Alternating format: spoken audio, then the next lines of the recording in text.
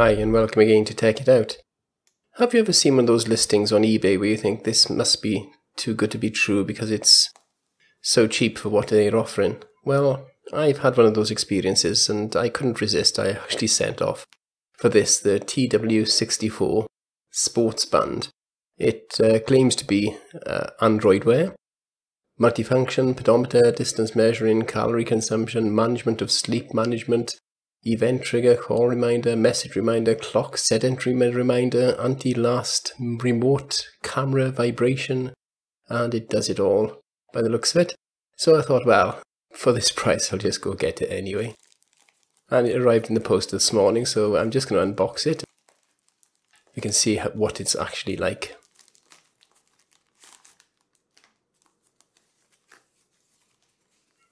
And here it is, the smart bracelet.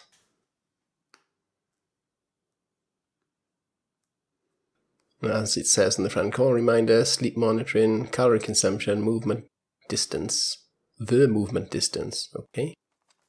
The first bracelet with OLED recording sports data in daytime and sleeping data at night to guide every healthy living lifestyle. Okay. USB port designed with IP67 for good waterproof performance. And then it goes on with the specifications of the pedometer and the hardware itself.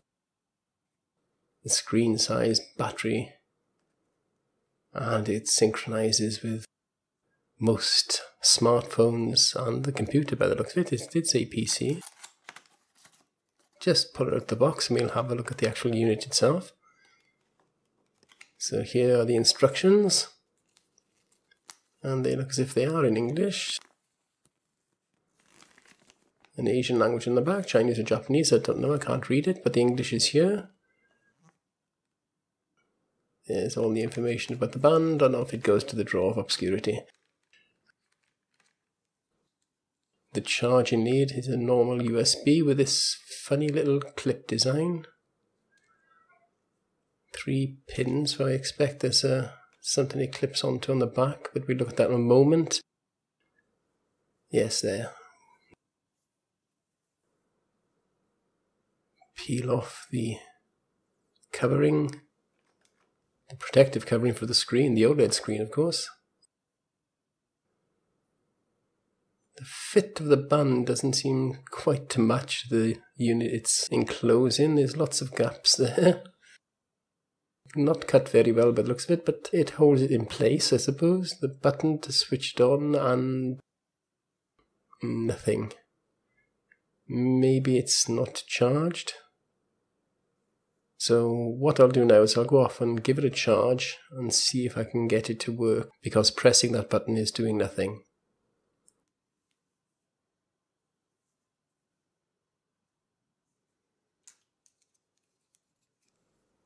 So here we are back again. I've charged it up. It has come on. And I've downloaded the app for it. Now there is an app on the App Store, but it doesn't work properly with it. So I used the QR code here on the instructions and downloaded directly the app.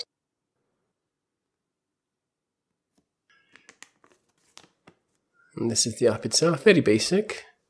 If I don't switch my phone off, you got the pedometer functions, Calories, distance, duration, degree, degree of what, I'm not quite sure. Yesterday, today, and tomorrow you can keep a record. And then your sleep.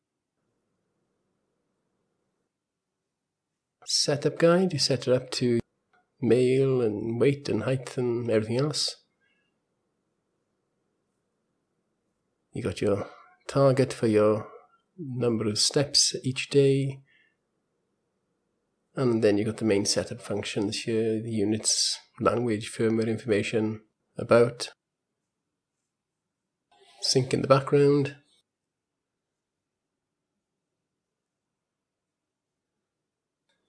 Notify of calls, so it does actually notify you if you get a telephone call or a text on your phone. One thing is, if you do change anything, you need to reboot the unit for it to take effect.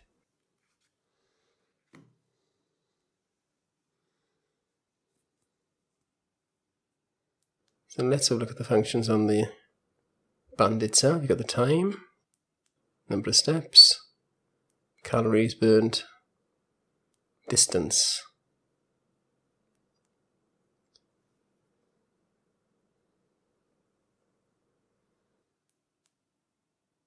What I haven't shown you here is that if you do a long press on the button, it takes you into sleep mode where it just sets a timer going of sleep. This is the unit itself out of the band. Band does tend to pick up a lot of fluff. It's a quite a soft rubber band, it's quite a nice feel to it. And the only thing really wrong with it is the the fit around the actual unit itself. Now this is my old Microsoft original. It's seen better days as you can see, it's well worn. It's about the same width at the top, but of course the smartband's bracelet itself is a lot thinner. But then it does have a lot less function. This has GPS built in, heart rate monitor built in, and it's very easy to put on your wrist. So let's put the smart band on and see what that's like. Now I know a lot of these bands with these double buttons are quite difficult to get in and it looks like this one's going to be no exception.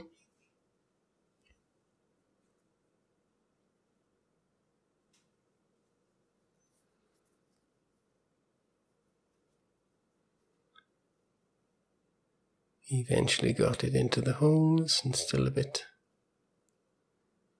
There we go. So now it's on and it's actually very comfortable. It's, you can hardly feel it, it's so light. So there only remains one thing left to do, and that's to test the claim of its water resistance. Because it says 5 meters of water resistance, but says also don't take it in the shower. So what is it? Will it work after dunking it in the water?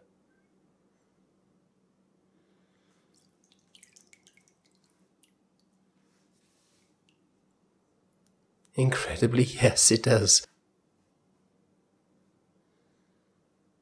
Let's dunk it for a bit longer.